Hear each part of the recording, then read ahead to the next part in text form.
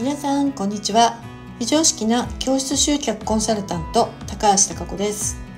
本日の高子録のテーマは目先の視点で大切なことを見失わないということについてお伝えしてみたいと思います、えー、これなかなかそのシーンにならないとですねあのその状態がどういう状態なのかっていうのをちょっと思い当たらないと思うんですけれども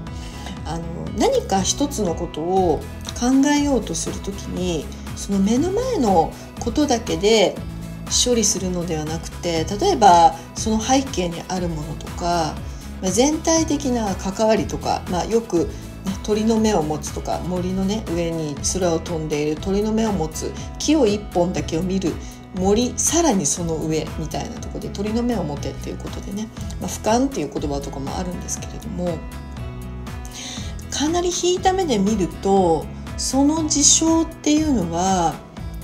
うーんそういう処理の仕方じゃない違う方法も実はあるっていうのが見つかっちゃったりすることあるんですよね。であと同時に例えばそのインパクトが強すぎる、まあ、感情的に揺さぶられる、まあ、よくあるのが女性の場合だと他人からの誹謗中傷とか攻撃ですね。言われのないものですよ。ご自身の中で。うん、でそれを言った時には心のダメージは非常に大きいわけですよ。そうするとその言っている対相手のことだけしか目につかなかったりするんですけれどもうん例えばそれをもう少し引いた目で、まあ、その人の例えばね背景でなぜそういうことを言っているのだろうとかそれは私だけに向けられているものなのかとか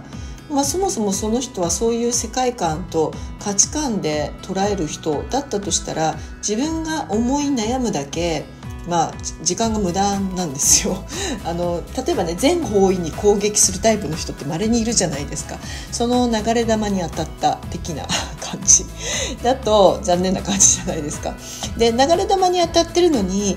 あの人は私だけを殺しに来たに違いないみたいな感じで考えちゃうと全然本質を見失うことになるんですよね。であと例えば夢があってその大きな夢であればあるほど途中の障害って大きくなっていってしまうんですよ。大体。試されてますからね。あなたのその夢は本気ですか？みたいな感じで大体試される試練が来ちゃうんですよ。でその時にその目の前の試練だけを見てしまって本来はもっと大きな目でね見つけていくとそのうちの一過程だと思えばやり過ごせるものがもうそれで世界が全て終わるぐらいの気持ちになってしまってもう心が窮屈な状態になってまあ諦める挫折するとかねそういうこともあったりします。だからあの目の前に見えてることはその長くやっていく上で出てくる過程のものが出てきただけなのかもう本当にそれが最終形でどうどうしてもやらなくてはならない残念なことがどーんとこう目の前に大きくね立ちふさがってしまっているだけなのかとかその状況をね正しく判断する。で目先のことだけで判断しちゃうとあのまあ、さっきのね誹謗中傷の話だとその相手を攻撃しに行くとかっていうのはどう考えても得策じゃないんですよ基本的には。